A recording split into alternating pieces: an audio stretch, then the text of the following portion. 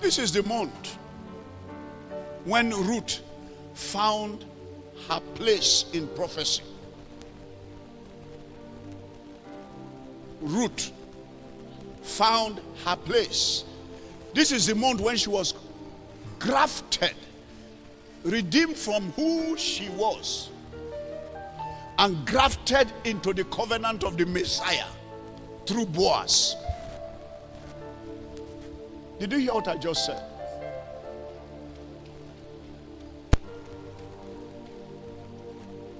Now, if all of you, you may not, you, it is through Ruth. Obed was born. Obed, Jesse was born. David was born. So that you understand the. So Ruth is one of the great grandmothers of Jesus Christ. But then let me tell you another story. Two children were grafted into the covenant of Israel, female children. One left to form a contrary spirit that will fight the spirit of Israel in the book of Ruth.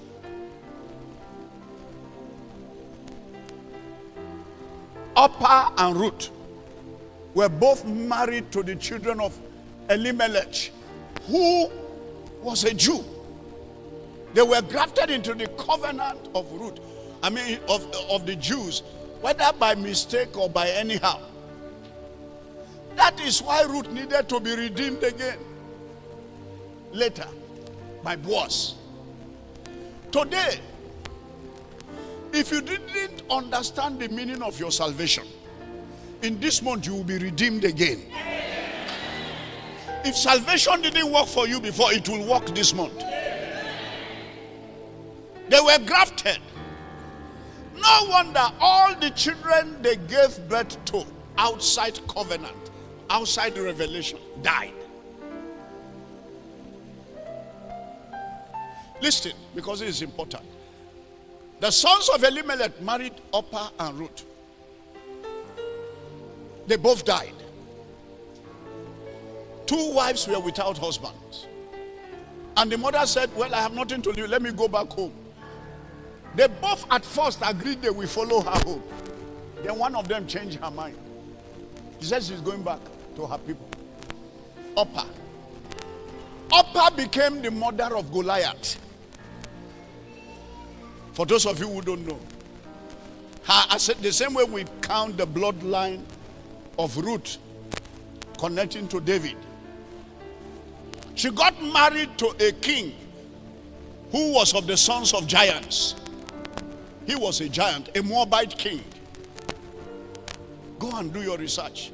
She got married to a Moabite king who himself was a giant of the existence of fallen demons. Generations after, three generations after, just like it was about three generations to David, three or four generations after, Goliath and his kindred, two cousins, connected by mothers who married in the same in the same family were meeting from opposite end in battle. David and Goliath. Now, I want you to see the cycles because this month is the breaking of cycles. Cycles that will not make you, will not find you. I, I repeat, cycles that will not make you, cycles that will not promote you, they will not find you this month in the name of Jesus Christ. It's a mystery. Life is a mystery. It's not about our choices. It's about the choices that have been made in the heavenly places for us. If you will submit, your own will come to pass. Listen, because this is very important.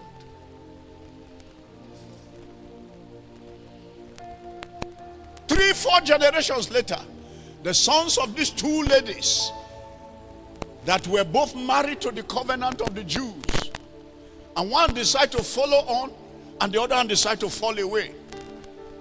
They meet again in battle. And one used the swords of spirits to fight the other.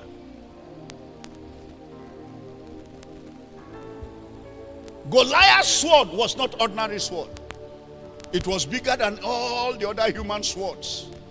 It had a weight, its own weight in shekels and in gold. An average man couldn't carry that sword. So he needed another giant to become his armor bearer, to carry the weight of his sword. Now, go and study your scripture. Because I'm about to say something that will blow your mind. And God said, You cannot fight with the same weapons because your own is inferior.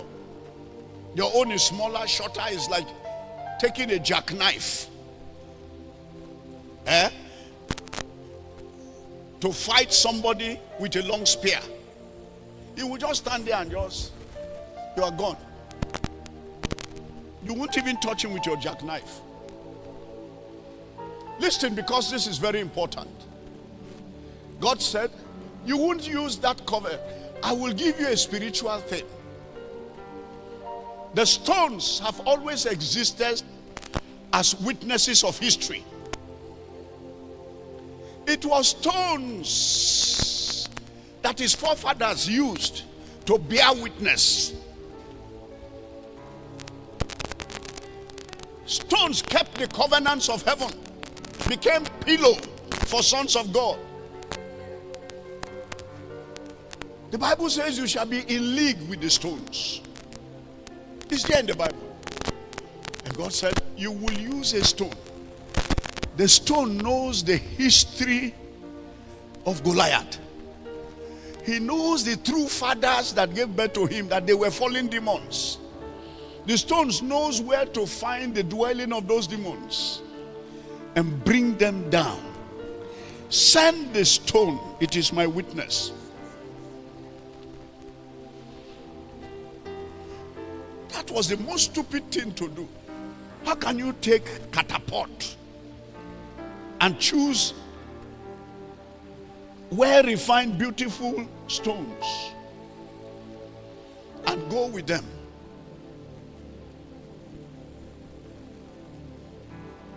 And in those days, they weren't pulling them the way we pull them, they rolled them. So it was more sophisticated and complex. How do you get an aim rolling something? Listen, because this is very important. God chose a different weapon that was ancient.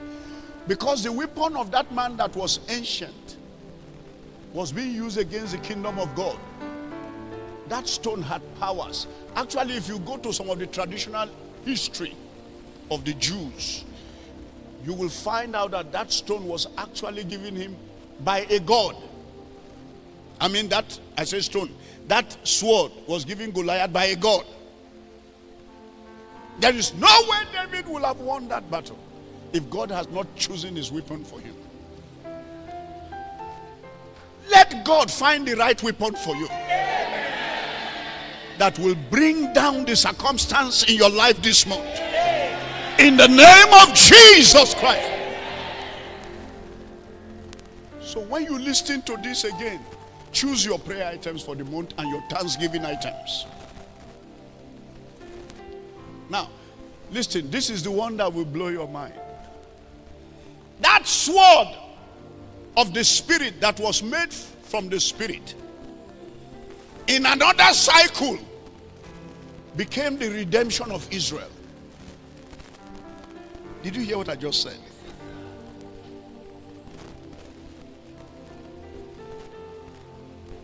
There was a time when there were no weapons at all. And David had lost hope. He was running away from his destiny and fate. He had been crowned king and he was running away from the kingdom. He was tired, he was hungry. And where did he run to? The temple, the high mountains of God. And the high priest that was in that temple. Because the guy was so hungry, he didn't have time to pray in the name of God the Father, the Son, and the Holy Spirit. They took the communion bread that is meant for Holy Communion. Only priest could eat it. He ate it from hunger. They break all the rules of Holy Communion so he can be grafted. You don't eat Holy Communion from the place of hunger because you are hungry. That's why they say if you are hungry, eat in your house before you come to eat the Holy Communion. It's not food to eat because you are hungry. David break that law. He ate because he was hungry. So he didn't eat like a gentleman. Chaka, chaka, chaka. He was just eating it anyhow.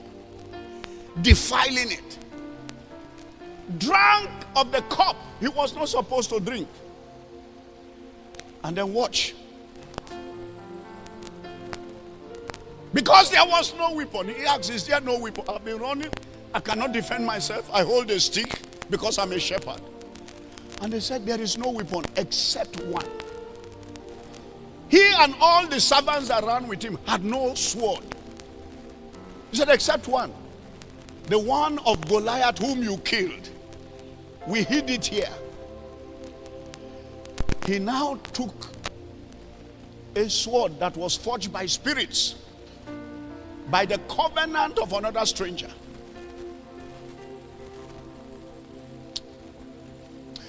God will use those who are supposed to be your enemies to enthrone you. The cycle is going to come full. Where God will not remove them and will not break them, He will use them to carry you up.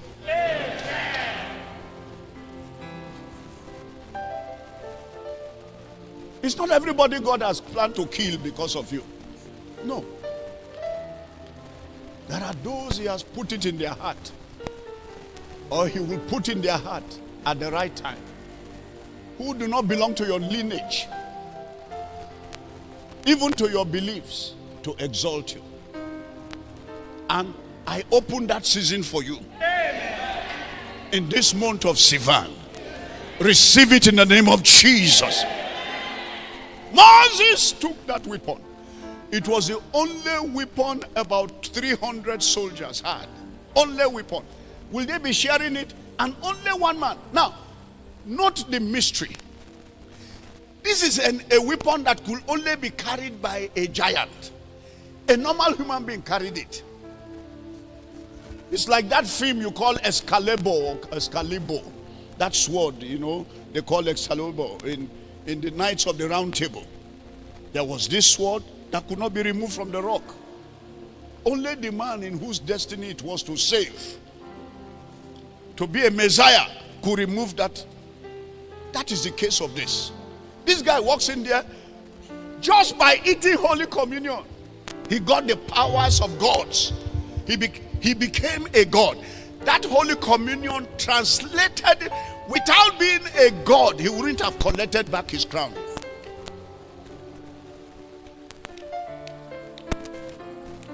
in this month, as the Lord liveth, you will be translated into the place of God.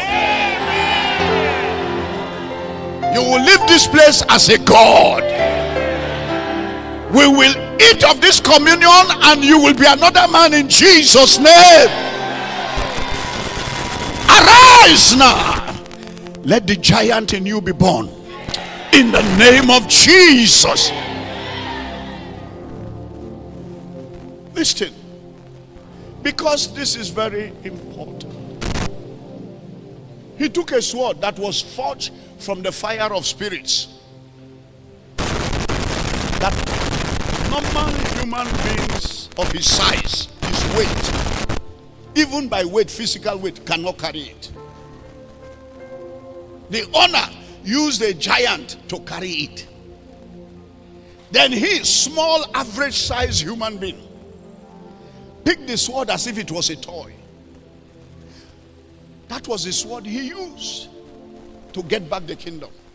It's not written in the Bible that the sword was changed or that it was broken because that sword could not be broken. That means in that sword, when God gave it to Goliath, he had forged the redemption of Israel in it. That is why the sword was refused to touch the covenant. He couldn't hit the covenant. And the covenant at that time was David. That sword could not kill the covenant. Maybe with that sword he had killed other people who had offended God, but he couldn't kill the covenant.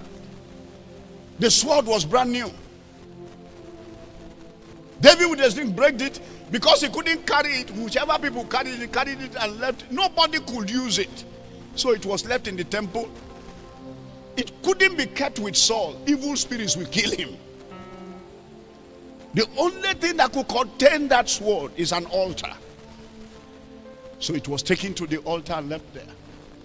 Then, when another living altar came, activated by the covenant of communion, you must use communion this month to call forth Amen. your new story.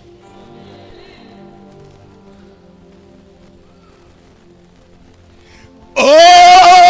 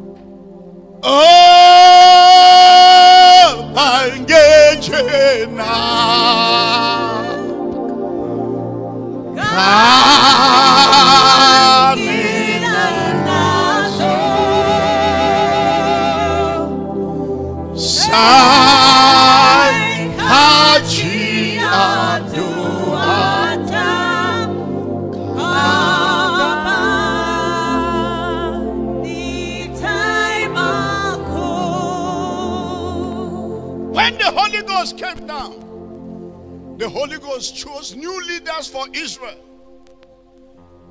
and rejected the priesthood, the high priest, and the priesthood of that time.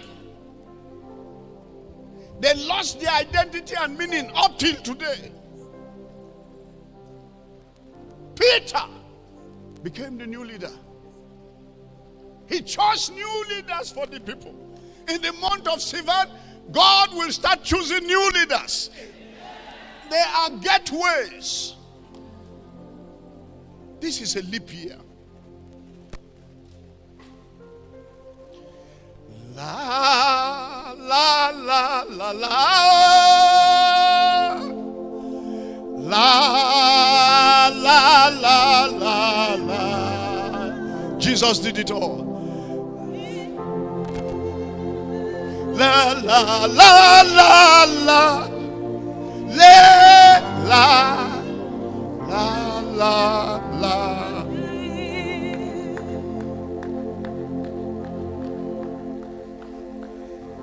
La, la, la, la, la.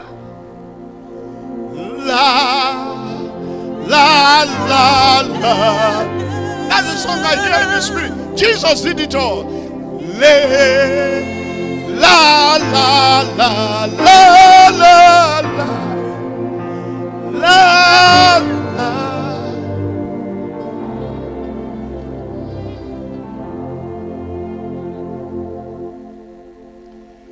Jesus paid it all.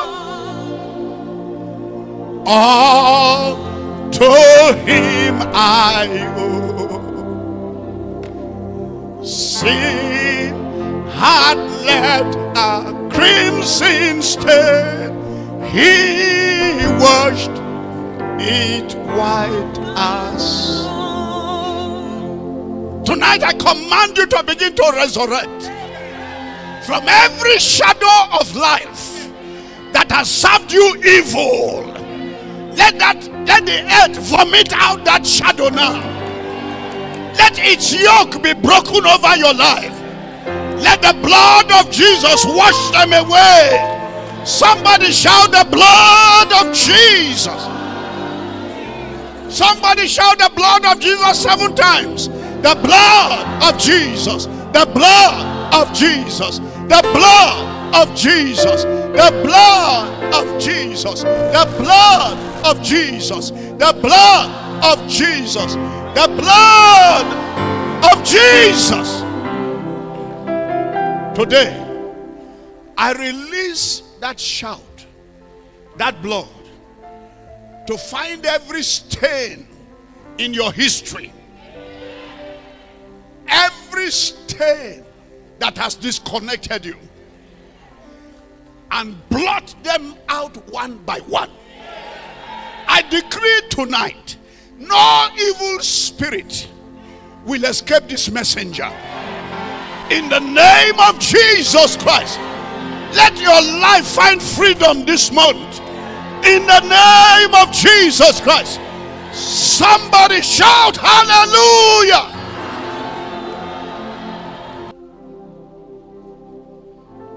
Your right hand on your head? Say, Today, before the God of heaven, I take an oath before the Father no strange cycle shall rest on my head again. Anything that attempts that, I curse it with the curse of death. Let the firstborn of death take away that one. In the name of Jesus Christ. I didn't hear somebody shout amen. By your confession, your life shall be protected. They that play with, that played with your destiny, they will not see you again. Your destiny has changed in Jesus' name. Anyone playing with serpents to control your cycle, I release life and death into that person's life.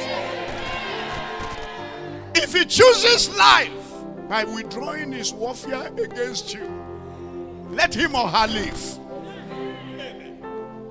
But if he or her chooses death by continuing against you, let Sivan not let them see the next month.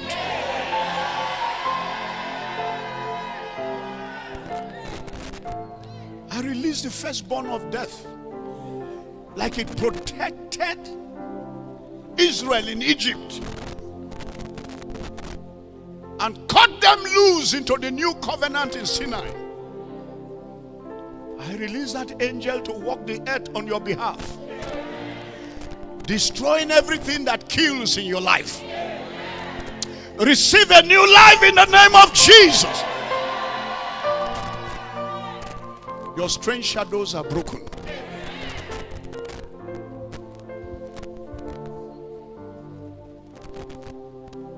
Can you just begin to bless the Lord, somebody. Give him the glory that is due to him.